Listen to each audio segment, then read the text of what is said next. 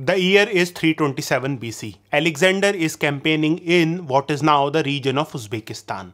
At this time, a letter from an Indian king arrives. This Indian king wanted Alexander to invade India. Who was this ancient Indian king? This ancient Indian king was Ambhi. We have all heard about Ambhi, but what is surprising about this name is that it does not appear anywhere in Indian sources. In fact, when we talk about Alexander's invasion of India, we find that there is no mention of Alexander's invasion in Indian texts.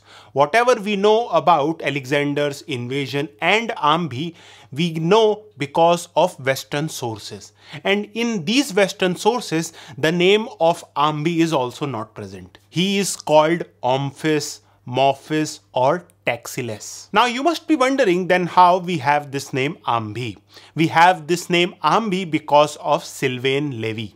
Sylvain Lévi was a French Indologist who published an article in 1890 in which he argued that the Indian name of Omphis is Ambhi. So he was the first one who gave this name Ambhi.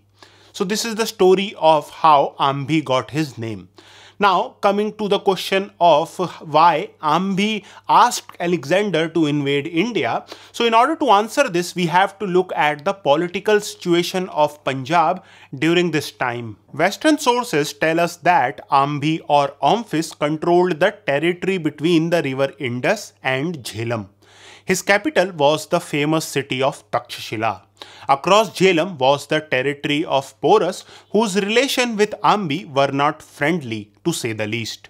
For Ambhi, the situation worsened when Porus formed an alliance with Abisaris. Abisaris is what the Greeks called the king who ruled the territory north of Porus. Scholars believe that part of what is now the Indian state of Jammu and Kashmir was ruled by Abisaris. Ambhi feared that these two neighbors of his would soon cross the Jhelum and attack his kingdom. It is because of this fear Ambhi approached Alexander to invade India. And from the sources it appears that at this time Ambhi was just a prince. It was his father who was ruling the kingdom.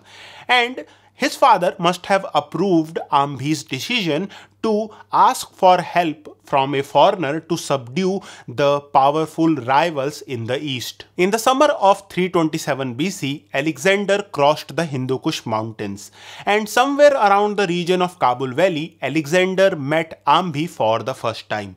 Ambhi was accompanied by Indian chiefs who had submitted to Alexander and these Indian chiefs offered Alexander 25 elephants. After this meeting, most probably Ambhi did not join Alexander in subduing the kingdoms that were situated in the Swat Valley and the adjoining regions. We can say this because when Alexander reached the Indus River, he found that Ambhi had sent great gifts. These great gifts included some 30 elephants as well. These elephants and other gifts were sent to Alexander by Ambhi because Ambhi wanted to ensure that Alexander would not doubt his loyalty. This display of loyalty by Ambhi was necessary because after crossing the Indus, Alexander will enter the territory of Ambhi. So Ambhi wanted to ensure that Alexander has his full confidence. Around this time it appears that Ambhi's father, who in one source is called Taxiles, had died and Ambhi had become the next king. Now this word Taxiles is quite important for us. There are some scholars who have argued that Taxiles was the dynastic title of the kings who ruled the territory between Indus and Jhelum. And when Ambhi's father was the king, he had this title of Taxiles. And when Ambhi became the king, he also adopted this title. And it is quite possible that the word Taxiles was the Greek version of the original Sanskrit word Takshilesh, which means Lord of Takshashila we know that Takshila was the capital of Ambhi. So this theory is also quite possible. From the different sources, it is clear that Ambhi did not join Alexander in crossing the Indus River. When Alexander reached the eastern bank of Indus, he was now in the territory of Ambhi. Although Ambhi had already submitted to Alexander, but Alexander feared that all of this might be some sort of a trap When Alexander started moving towards Ambhi's capital, which was the city of Takshila, he saw that Ambhi had arrayed his army in full battle ready condition in front of the city. Seeing this, Alexander too ordered his troops to be ready for battle. When Ambhi saw Alexander's army getting ready for battle, he understood that there is some sort of a misunderstanding. To resolve it, Ambhi went alone to meet Alexander. In the subsequent meeting, Ambhi, in the words of Diodorus, surrendered his army and himself to the king. By king, Diodorus means Alexander. In another source, we are told that when Alexander asked Ambhi why he had arrayed his army like that, Ambhi replied, and I quote, It was because he had intended doing whatever Alexander would have wished, at which Alexander further inquired of him whether any neighbor of his was causing him trouble. Mophis answered that two kings beyond the river were preparing to make war on him. Abisaris, who lived in the mountains, and Porus, whose kingdom was in the plain adjacent to the river.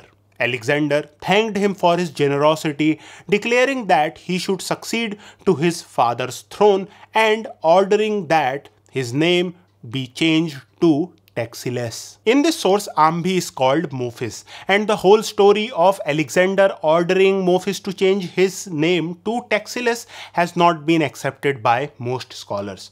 Now, coming back to our main topic, in one source, we are told that Alexander enlarged the territory of Ambhi. But the same source also tells us that in the territory which lay east of Indus, Alexander appointed a governor who was a Greek. Now, the territory which lay east of Indus was the territory of Ambhi. So, based on this source, it appears that now the territory of Ambhi lay in the hands of Alexander. And based on this source, we are also told that Alexander had stationed a garrison in the city of Takshashila, which means that Ambhi by this time was a king in name only. The stationing of a garrison and the appointing of a satrap east of Indus shows that Alexander was not taking any chances because the next ruler which he would have to face would not submit like Ambhi. This next ruler was none other than Porus.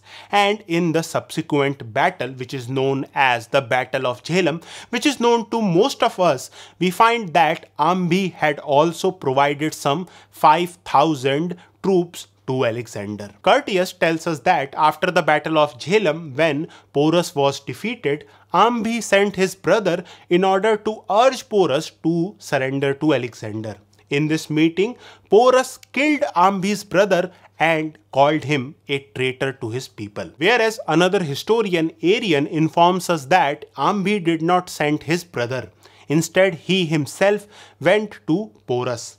When Porus saw Ambhi, he hurled a javelin towards him, which was successfully evaded by Ambhi. This episode shows that for Porus, Ambhi was a traitor, and the enmity between these two had not died down.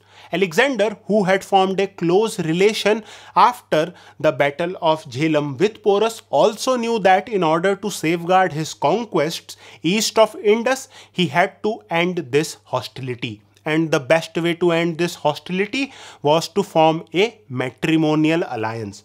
Now, who married whom in this matrimonial alliance, we do not know.